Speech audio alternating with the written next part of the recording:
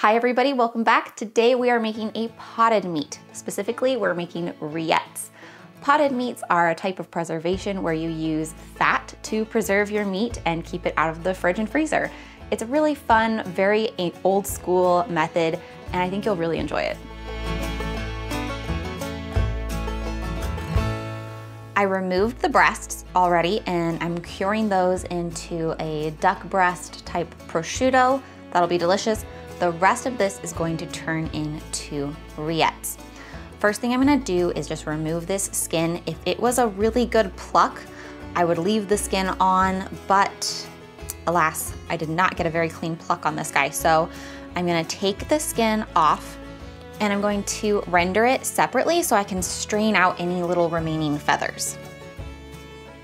You can get this mostly done by just running your fingers through the middle of the skin in the meat, but you'll definitely need to use your knife in a few parts. Just try not to cut into the meat. Skinning is an absolutely unnecessary step if you have a clean pluck on your bird. The only reason I am skinning is because I didn't want to waste the fat and I did not have a clean pluck on the bird. If you have a clean pluck, you can use whole bird as is.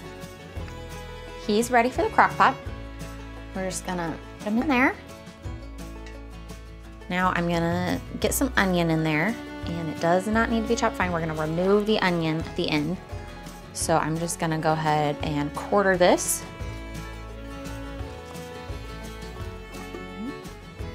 Some sage and bay leaves, but again, you guys can totally do whatever flavors float your boat. Now we just need a little bit of salt. And I'm gonna use some allspice. We're also going to need a little bit of liquid. You can use some pre-made stock. I'm gonna use some plum wine again today. You could also put in some other rendered fat that would work too.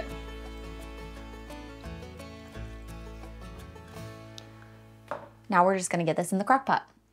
We're just gonna go slow cook, normal, probably three to five hours. Just check on it and when the meat is coming off the bones easily, it's time to move on.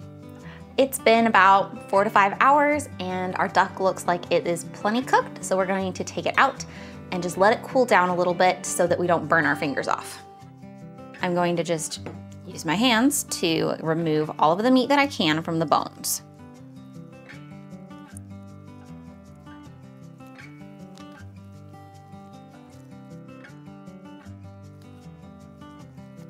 When we've got all the meat picked off the bones, we can set the rest of this aside to make soup within a little bit.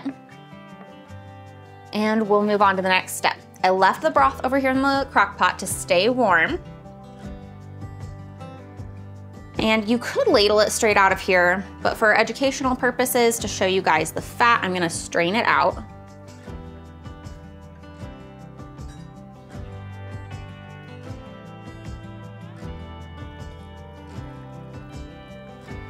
And of course I can't find my strainer, so we're improvising. The amount of fat that we got off of this bird is fantastic. That is what we're looking for. You need to do this with something that is relatively fatty so that this preserves properly. We're just gonna take two forks and shred this just like you would pulled pork. When you've got it shredded to the point that you like, we're gonna add some of this broth.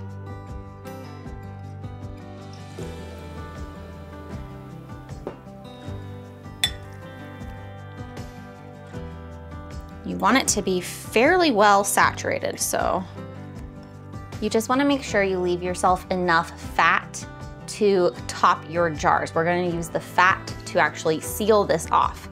So if you need to use a ladle or something, get a little more of that broth from underneath, reserve yourself that fat. Now is also the perfect time if you want to taste it to adjust your seasonings a little bit, and then we're ready to get it in jars.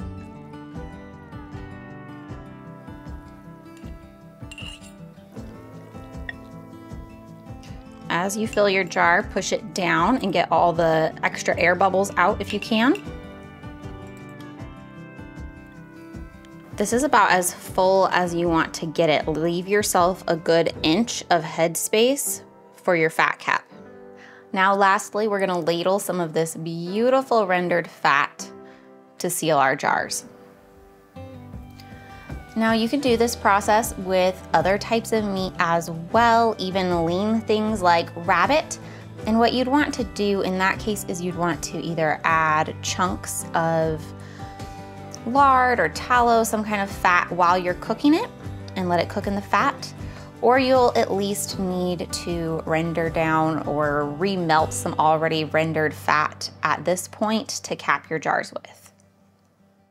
Now, conventional storage says that these should be kept in the refrigerator for a few weeks. However, historically, and what I do is I use sterilized jars. I make sure I have a really heavy fat cap on these and I keep them in my cold room or refrigerator for up to six months. And again, I urge you use your best judgment. If you're uncomfortable with it, don't do it. But yeah, I've had wonderful results with these lasting a very long time and they are super delicious. You can just spread them on toast, eat them with some charcuterie, eat them out of the jar with a spoon. Um, we love them on potatoes, like fried potatoes with rillettes on top. So wonderful. I'm just gonna let those cool a little bit and then put lids on them and move them into my cold storage. Thank you for joining me today. I hope that it was fun and enjoyable. I'm working my way through a harvest of ducks, so there will be more duck videos coming your way. There's going to be some pate, some cured duck breast, duck foot soup, so definitely keep an eye out and as those are released, they'll be added to the end screen and linked in the description as well. All right, thank you guys again. Give it a thumbs up, maybe share it with a friend if you'd like, and I'll see you next week.